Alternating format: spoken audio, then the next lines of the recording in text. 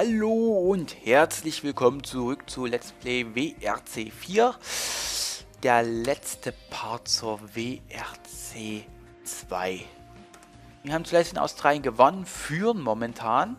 Ähm, in der Gesamtwertung, hier werden wir nochmal gratuliert für den Rallye-Sieg. Nächstes Ziel natürlich wieder mindestens Platz 3. Aber mein persönliches Ziel ist zu gewinnen, damit Kubica keine Chance hat, mir nochmal den Titel abzuluxen. Weil momentan führen wir, haben Lappi natürlich geschlagen. Und wen sollen wir jetzt schlagen? Alkuvari. Oh, das wird jetzt mal ein bisschen schwieriger, weil der ist momentan zweitplatzierter in der Gesamtwertung. Also in der Meisterschaft. Jetzt geht es nach Espanja, nach Catalunya. Und da bin ich doch eigentlich mal wirklich interessiert und gespannt, wie wir uns jetzt hier schlagen werden. Äh, Setup, da nehmen wir natürlich das Spanien-Setup. Habe ich mir hier schon mal vor mal ungefähr anderthalb Monat zusammengebastelt.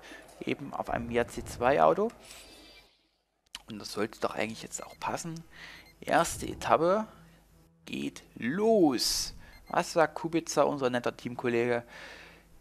Man merkt schon, dass Alcovari wirklich eins mit seinem Fürth geworden ist. Ich glaube, hier in Spanien wird er das Tempo vorgeben, denkst du. 3,5 Kilometer sollen wir hier fahren. El Priorat ähm, heißt die Etappe. Okay. Und damit geht es jetzt mal los.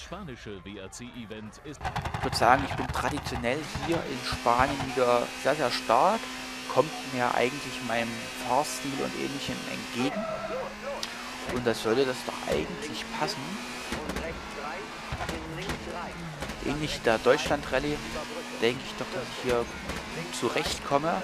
Macht natürlich auch hier Spaß, die Straßen entlang zu fegen. Setup wieder phänomenal, muss ich sagen. Also so den ersten Kurven richtig, richtig geil. Das war jetzt gerade ein bisschen zu spät gebremst. Aber naja, das war ein bisschen weit genommen. Aber trotzdem minimalen Vorsprung, obwohl wir hier doch schon einige Fehler drin hatten, die auch natürlich Zeit gekostet haben. Fehler kosten immer Zeit. Da hast du überhaupt nichts. Und das sollten wir doch eigentlich jetzt hier auch gewinnen. Ich bin hier doch ziemlich optimistisch, dass wir hier als Sieger vom Ort abreisen und uns aus der WHC 2 verabschieden können. Wobei ich aber sagen würde, auch wenn wir jetzt hier in der Meisterschaft Zweiter werden würden, äh, ich würde in die WHC aufsteigen, also hochgehen, haben wir jetzt schon Angebote aus der WHC und zwei letzten Saisonstart gehabt. Und das sollte es doch eigentlich definitiv in Richtung WHC nach oben gehen. Jetzt haben wir hier knapp drei Sekunden Vorsprung. Das sieht doch mal ganz gut aus. Ich fahre hier aber momentan ein bisschen vorsichtiger, weil ich zum einen das Auto nicht unbedingt schrotten möchte, zum anderen aber auch, für was soll ich unnötiges Risiko eingehen, wenn ich doch eigentlich auch mit, relativ, mit etwas weniger Einsatz gewinne. Und ich gerade hier das Rückstand habe, das war einfach, weil ich schon wieder in der Wand festhing und mich da, da total dumm gedreht habe. Ich bin immer noch der Meinung, dass das nicht äh, ja, konform der äh, Physik ist, dass ich mich da immer so dumm wegdrehe. Vor allem egal wie ich ranfahre, immer drehe ich mich gleich weg. Das ist irgendwie wahrscheinlich schlecht programmiert oder simuliert, ich weiß es nicht. Weil eigentlich müsste man, wenn man dann unterschiedliche Geschwindigkeiten und unterschiedlichen Winkeln gegen sowas fährt, sich Racings unterschiedlich wegdrehen, aber es dreht sich immer gleich. Ich weiß auch nicht. Irgendwie komisch. Aber naja. Geht's jetzt hier erst einmal entlang. Macht auf alle Fälle richtig, richtig Fun hier wieder zu fahren. Ich finde auch diese Landschaft phänomenal, auch wenn ich noch nie in Spanien war und auch nicht unbedingt die Motivation sehe, nach Spanien zu reisen, fahre ich hier trotzdem relativ gern, also doch sehr, sehr gern lang. Die Haarnadel habe ich schon in den vorhergehenden Teilen nicht hinbekommen. weil das ist ja immer im selben Gebiet und die Haarnadel, ich glaube, das ist eins zu eins übernommen. Jetzt haben wir ja Alcovari geschlagen. Oh, Kubica nicht so gut unterwegs. Aber es ist ja meistens so, dass er die erste Etappe ein bisschen verschläft. Aber trotzdem 2,77 Sekunden Vorsprung. Das ist doch top. Auch wenn es natürlich hätten mehr sein können, weil ich ja doch zwischendrin ziemlich verkackt habe. Aber naja, Robertoson war absolut unglaublich. Keine Ahnung, wie er so eine Zeit vorlegen konnte. Wir werden uns einfach mit dem zweiten Platz zufrieden geben müssen. Ja, werdet ihr es wohl tun müssen. So. 3,8 Kilometer. Salou. Ich hoffe, ich habe es jetzt richtig ausgesprochen. Ist jetzt unsere neue Etappe. Motor qualmt etwas. Na gut, ich bin ja auch ein bisschen dumm in die Wand eingeschlagen. Muss ich ja zugeben. Ich hoffe, ich kriege den Schaden dann hier beim Service repariert. Aber es sollte doch eigentlich passen. Und so. Geht jetzt hier mal vorsichtig um die Kurve herum. Und probieren mal hier uns richtig schön auszutoben. Und machen natürlich das Beste draus. Schön hier an der Küste entlang zu fahren. Ich glaube, hier diese Barrieren, die gibt es wahrscheinlich vor allem an den südländischen Küsten, sage ich mal, Spanien, Portugal, äh, Italien, weil ansonsten, also in diesen Ländern, ansonsten, ich weiß nicht, Deutschland gibt es hier Leitplanken und alles mögliche, aber solche Mauern oder so etwas, weiß nicht, gibt es irgendwie nicht mehr, außer es ist eine ganz alte Straße und die wird bloß ganz selten benutzt oder sowas, oder das Land, Stadt oder was auch immer, weil wer da jetzt dort ein Anrainer ist und für die Straße zuständig, hat kein Geld, die zu renovieren, aber an sich gibt es ja eigentlich solche Barrieren nicht mehr. Das ist ja jetzt alles hier hochtechnologisiert mit irgendwelchen Leitplankensystemen und dabei finde ich hat so eine Mauer deutlich mehr Charme als so eine scheiß Leitplanke, ganz ehrlich. Und ich würde wirklich sagen, dass wenn ich hier voll gegenfahren würde, würde das Blech an die Leitplanke einfach umknicken. Kann man noch so starke äh, Pfeiler quasi einsetzen, da machst du nichts, dass der nicht gerade in Statik und Festigkeitslehre. Und so eine Steinmauer würde ich sagen, ist da doch stabiler, zumindest eine betonierte, so eine gemauerte, ja, weiß ich nicht, kommt vielleicht auch im Zustand der Mauer drauf an, aber normalerweise sollte die dann doch schon noch ein Stückchen länger halten als der Stahl, weil ähm, der Stahl, der wird meistens dann, weil ja man ja doch auch äh, irgendwo da mal Kante dran hat am Auto, weil man tut ja nicht hier mit der Stoßstange auf dem Boden quasi schleifen.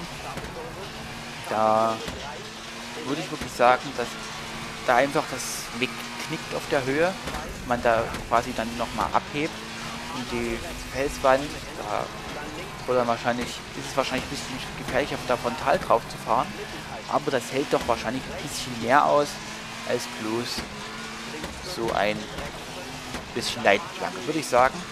Ähm, Wäre vielleicht auch mal eine Untersuchung wert. ADAC hat zumindest mal vor ein paar Jahren festgestellt, dass diese Betonsachen auf Autobahnen, wie diese, diese Profile da, die dann als Ersatz für Leitplanken genutzt werden, äh, durchaus ähm, das Auto besser äh, verformen und abbremsen als so eine Leitplanke, weil sich meistens das Auto ähm, bei dem Blech nicht ausreichend ähm, verformt, also bei einer Leitplanke, wir haben jetzt übrigens erstmal gewonnen, ähm, sondern die tun dann eben das Auto, oh, Kubica hat Alcovari überholt.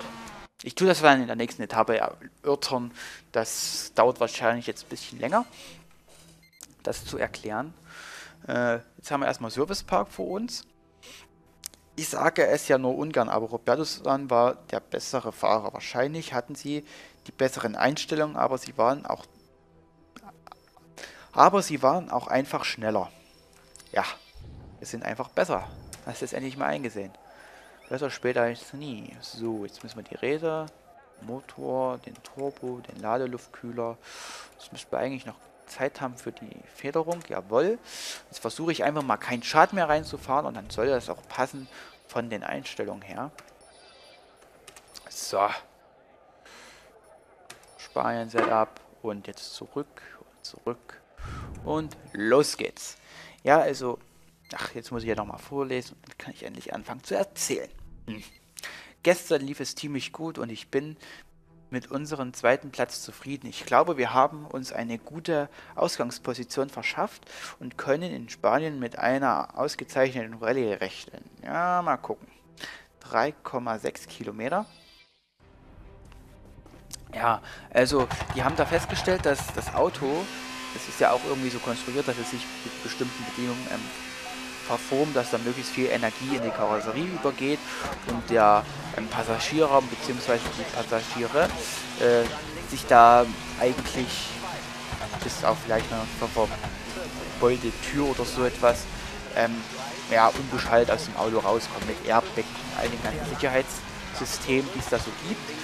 Und ja, es war einfach wirklich, ähm, sozusagen, doch relativ überraschend, ähm, dass das Auto, also dass die Autos sich ähm, besser verformen, wenn sie auf sowas Hartes wie eine äh, Betonwand fahren, als wenn sie auf eine etwas nachgebende Leitplanke fahren, weil in den 70er und 80ern ähm, waren vielleicht die Leitplanken immer noch sicherer als so eine Betonwand, weil das Auto damals noch sich einfach nur wilder verformt hat hat die Leitplanke eben dann die Energie aufgenommen aber die modernen Autos nehmen ähm, das Ganze eher nicht so wahr, als dass es ähm, also vom, vom Energieaufnahme und so etwas ist es gefährlicher für moderne Autos gegen eine Leitplanke zu fahren als äh, gegen eine fe feste Wand, weil dadurch die Struktur, die im Auto so ja, durch Sollbruchstellen und Verformtaschen quasi dann äh,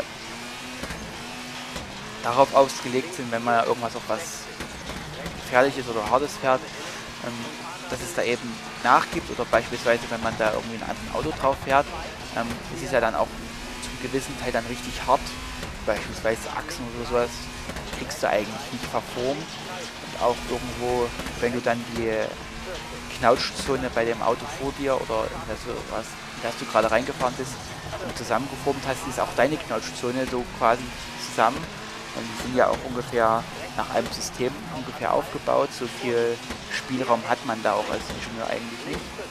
Und ja, das ist eben bei solchen Leitplanken anders, weil die nicht so nachgeben, wie wenn man auf ein Auto oder auf eine Mauer drauf fährt, sondern es ist einfach, ja, wie könnte man das erzählen? Ja, das könnte man vielleicht so erklären, dass man, wenn man immer äh, beispielsweise äh, Nägel in die, wenn man Nägel schlägt.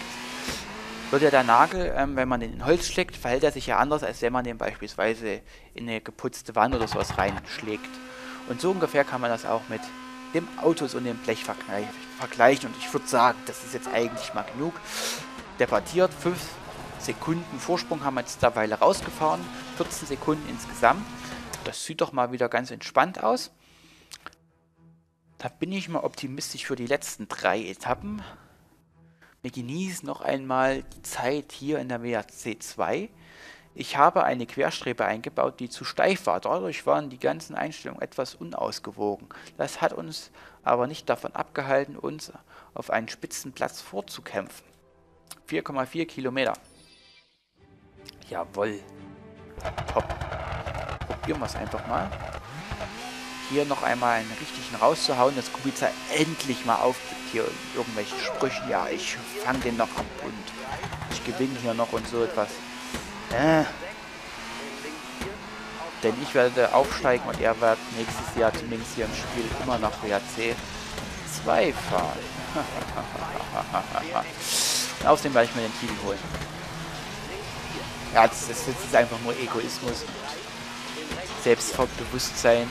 Aber ich glaube, das braucht man auch vor allem im Motorsport, wo nicht immer alles nur von dir abhängt, aber du musst eben dann trotzdem die Motivation haben, hier alles aus dir rauszuholen.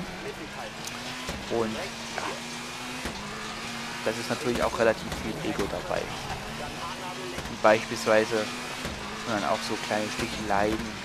Vor allem ähm, letztes Jahr hat man es in der Formel 1 gesehen zwischen Webber und Vettel, wo die beiden sich überhaupt nicht leiten konnten, seitdem äh, Vettel dann, obwohl Teamanweisung nicht an Webber vorbeizufahren, Webber überholt hat. Dann gab es ja richtig, richtig Zank danach. Vettel hatte sich ja zuerst ähm, entschuldigt nach Malaysia bei ihm und bei den Fans. Und dann eine Woche später in China, ich bereue nichts und das hätte ich jedes Mal, würde ich jederzeit wieder machen und ja, das war, ich würde sagen, das war dann so definitiv der, die, Wende, wo dann selber gesagt hat, nein, ich mache nicht nochmal hier bei Red Bull, weil da stand es noch nicht ganz fest mit Porsche, aber kurz danach kam eben dann das Gerücht auf, dass er zu Porsche gehen würde. Wenn ich mich da recht entsinne. Ähm, und ich weiß auch, dass äh, äh, ich habe auch gelesen, dass äh, Weber das auch als äh, ja so als, als, als den letzten Anschub ähm, gegeben hat, den die Formel 1 und Red Bull den Rücken zu kehren und dann in die Langstrecke zu gehen nach Le Mans äh, zu Porsche, weil er eben gesagt hat, dort ist noch der Teamgeist da, kommt er auch aus der ähm, Prototypen Langstreckenmeisterschaft, vor der Jahr, ähm, bevor er Formel 1-Fahrer war, für Mercedes, glaube ich, wurde dann ähm, ja, mit in die Formel 1 gehievt und hat sich da relativ lange ähm, mit Williams und anderen Sachen ähm, herumgeschlagen oder, oder anderen Teams herumgeschlagen, die dann nicht so erfolgreich waren, wo er nicht den Erfolg haben konnte. Ist ja eigentlich auch bloß die letzten paar Jahre dann mit Red Bull ähm, nochmal so richtig aufgeblüht und er hat da nochmal Siege und so etwas einfangen können, weil ansonsten wäre es eher eine relativ trostlose Formel 1 Karriere geworden. War ja ähm, gleichzeitig mit Fernando Alonso eingetreten. Ähm, Alonso ähm, waren, glaube ich, beide bei Minardi, wenn ich mich recht entsinne, zuerst. Und äh, ja, Weber hat es dann einfach nicht so ganz äh, geschafft, ähm, sich dann, wie beispielsweise Alonso, dann ist er zu äh, Renault gegangen. Und Weber zu Williams. Und Williams war ja damals auf dem absteigenden, also nicht zum, auf dem aufsteigenden. Und das war eigentlich dann quasi sein Fehler, weil er da seine Chance nicht und sein Können nicht zeigen konnte.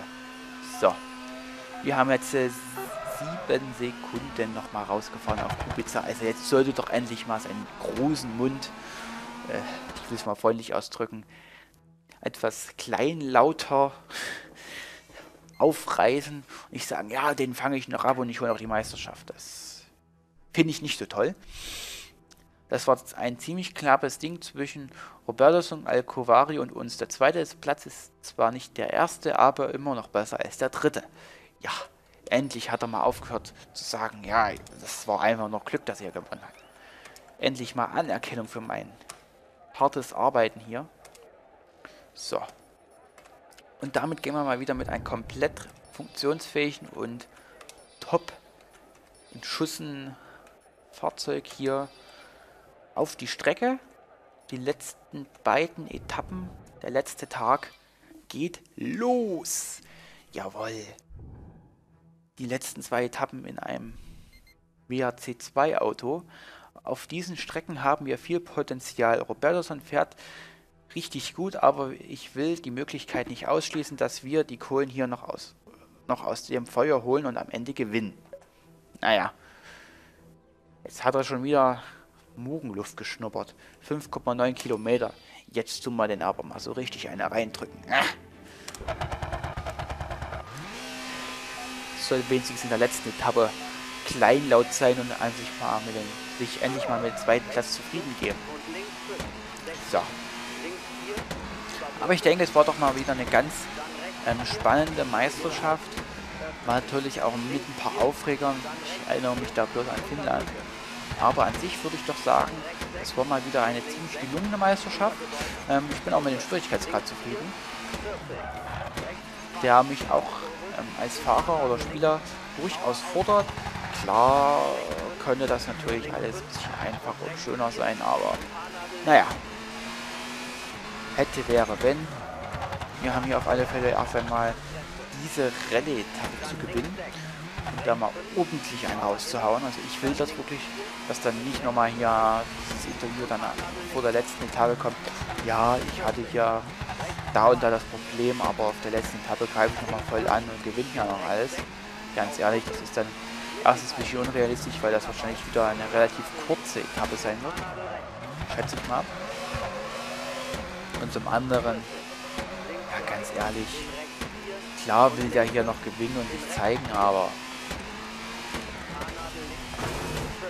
es ist wirklich bloß noch eine Mini-Chance, die er hat. Da müsste ich ja wirklich mal so einen richtig harten Fehler machen und da alles kaputt machen und gar ausscheiden. Ansonsten schafft er die 20 Sekunden nicht mehr aufzuholen. Würde ich mal sagen, also die Wahrscheinlichkeit ist sowas von gering. Ja, da muss man auch manchmal ein bisschen von Wahrscheinlichkeit reden. Ja. Muss mal hier ein bisschen vorsichtig fahren. Ja. Jetzt habe ich mich ja gerade ein bisschen am mit dem Vorderrad verhakt. Das ist natürlich unpraktisch. Aber ich denke doch, dass wir hier immer gut im Rennen sind. Theoretisch könnten wir jetzt auch uns zurücklehnen und den Vorsprung noch verwalten. Führen sogar noch, obwohl wir hier doch diesen relativ harten Fehler gehabt haben. Aber ich will nicht, ich will mich nicht zurücklehnen, weil das hat man, das sagen ja auch viele, viele äh, Formel 1 Fahrer, wenn die dann irgendwann führen mit relativ sicheren Abstand und dann Reifen schonen sollen und was weiß ich alles. Ähm, ja, die sagen dann wirklich, ich habe da meine Probleme, mich zu konzentrieren, wenn ich dann nur noch so langsam vor mich hinfahren soll. Da fahre ich lieber dann, äh, wie beispielsweise Sebastian Vettel macht, dann entgegen der Aufforderung vom Team meine Bestzeit in der letzten Runde oder so, oder in der vorletzten Runde, als dass ich dann da ausfalle, weil ich da irgendwie Fehler mache oder dann doch meinen Vorsprung gefährde. Und so fahre ich jetzt eben auch auf Angriff zwar nicht tausendprozentig, sondern bloß vielleicht 100% und nicht 110, aber trotzdem auf Angriff, damit ich hier erstens nochmal ein bisschen Kubica demütige. Bin gar nicht mal komisch um die Wand geklitscht, das ist ja mal gut. Da war auch eigentlich eine glatte Wand, deswegen ja, war es eher ein Schramm als so ein Einschlag. Mal gucken. Mal gucken wie jetzt hier die nächste Zwischenzeit ist. Ich habe irgendwie das Gefühl, dass es relativ dunkel ist. Hier im Spiel. Mal gucken. Ja, heute früh wurde ich vom dem Hausmeister hier in dem Haus, wo ich wohne, geweckt, der da meinte, früh halb acht Schnee räumen zu müssen. Direkt vor meinem Fenster. Hat dabei dann zufälligerweise mein Auto voll eingeräumt, das hier in der Parkbucht vom Haus steht. Ja, also der Fußweg muss ja komplett sauber sein. Und den Schnee, den wir vom, auf dem Fußweg zusammenkratzen, den tun wir einfach unter das Auto schieben. Weil ich noch nicht so ganz, wie ich dann irgendwann mal aus der Parklücke rauskommen soll, wenn da noch ein bisschen Schnee dazukommt. Da weiterhin da das, den Schnee unter das Auto schiebt. Da braucht ganz eigentlich nicht anderthalb Meter Platz auf dem Fußweg. Da reicht auch ein Meter Platz und hat man einen halben Meter zum Schnee aufschaufeln. Ganz ehrlich, das sehe ich da nicht so ganz ein. Aber wir haben jetzt hier erst einmal doch ganz gut uns präsentiert, würde ich sagen. Haben hier nochmal eine Bestzeit rausgehauen, 10 Sekunden nochmal rausgefahren, haben jetzt 32 Sekunden Vorsprung. Ähnlich wie in, ja, ähnlich wie in Australien, top, 32 Sekunden. Finde ich super. Und jetzt die letzte Etappe. Was sagt Kubica jetzt noch einmal? Das will ich jetzt sehen. Gegen Ende der Etappe stand ein Wagen verkehrt rum. Vielleicht war das Al-Raihi. Wir haben ein paar Sekunden verloren und Robertoson hat uns geschlagen. Ja, 1,4 Kilometer. Plus ein paar Serpentinen im Prinzip. Also nicht gar so schwierig. Und das sollten wir doch eigentlich ja mal nochmal ordentlich zurechtkommen. Und hier nochmal eine Bestzeit hinsetzen. Ich denke doch, dass es hier gut funktionieren sollte. Hoffen wir einfach mal. Erste Zwischenzeit, niemals auf Vorsprung, aber es ist meistens so hier auf dieser Etappe. Hatte ich ja doch schon durchaus des Öfteren das Vergnügen und mittlerweile, ja, okay, das ist jetzt mein drittes Mal. Jetzt habe ich auch Zeit verloren, das ärgert mich gerade ein bisschen. Das hat auch noch Kubica, diese, diesen minimalen Vorsprung. Das gefällt mir überhaupt nicht. Naja, mal gucken. Was jetzt die Zwischenzeit sagt. Minimaler Vorsprung, da muss ich jetzt hier nochmal ein bisschen pushen. Ah. Ich bin... Ich, staune wirklich jedes Mal, wie hier die Rallye-Fahrer dann hier sehr, sehr engen Terrain wahnsinnig schnell fahren, weil ich glaube, im öffentlichen Straßenverkehr würde man hier deutlich langsamer fahren. Ich würde ja vielleicht keine 30 fahren, aber so deutlich vorsichtiger fahren. Ja klar, ich habe die ganze Fahrzeug, äh, Fahrbahnbreite und so etwas ähm, in Beschlag, aber ich würde aber trotzdem nicht so schnell fahren. Also ganz ehrlich, das ist echt Respekt, Chapeau.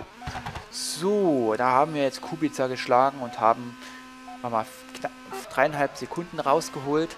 36 Sekunden Vorsprung auf Kubica. Damit verabschieden wir uns hier aus der Meisterschaft, haben mit 10 Punkten Vorsprung äh, Kubica geschlagen und haben den WAC 2 Titel auch noch geholt. Das ist doch mal optimal. Und dann mit tun wir auch noch die 20, 21.000 Berufspunkte-Marke knacken. Ja, der, die Meisterschaft hat ja doch relativ viel eingebracht. Super. Finde ich top. Und damit haben wir uns jetzt natürlich das Jubeln verdient. Robertoson war heute der schnellste Fahrer und Kubica-Team einfach das beste Team. Viel mehr habe ich nicht zu sagen. Ja, Doppelsieg mal wieder. Al-Kuwari, unser Konkurrent hier in der Rallye auf 3, Kubica auf 2 und wir natürlich hier wunderbar gewonnen. Können wir hier nochmal die Celebration uns angucken und damit geht es jetzt erst einmal wieder ins Hauptmenü ja, jetzt diese Freischaltung für die Errungenschaft WAC 2 Titel kriege ich leider nicht mehr, tut mir leid. Ähm, und das sollte das doch jetzt hoffentlich funktionieren. Jawohl, wir haben hier doch sehr, sehr toll gewonnen. Äh, hier kriegen wir auch relativ wenig. Perm gewinnt zumindest. Ähm, ich glaube, der hatte auch zuvor schon die Meisterschaft gewonnen. Ähm, Löb und Elena gewinnen mal wieder. Ähm, Oje auf dritten Platz. Sieht auch gut aus. Ähm, Ostberg ähm, hat eine defekte Gangschaltung. Auch toll. Sehr, sehr wichtige Information. Und da gucken wir uns jetzt hier nochmal die E-Mails an. Damit haben wir hier gute Arbeit. Haben Al-Kuwari geschlagen und Ende der Meisterschaft. Ähm, eine wohlverdiente Pause. Ja, so viel Pause ist jetzt nicht. Ähm, für euch geht es morgen schon wieder weiter. Wir kriegen hier die Gratulation zum Weltmeister. Und jawohl, das ist doch mal top. Ich würde sagen, bevor es in die nächste Saison geht, ähm, lasse ich ein paar Tage vergehen. Ihr könnt da vielleicht noch mittlerweile abstimmen für ein Auto und werde mich vielleicht daran in, äh, orientieren. Und sollte sagen, tschüss, bis zum nächsten Mal.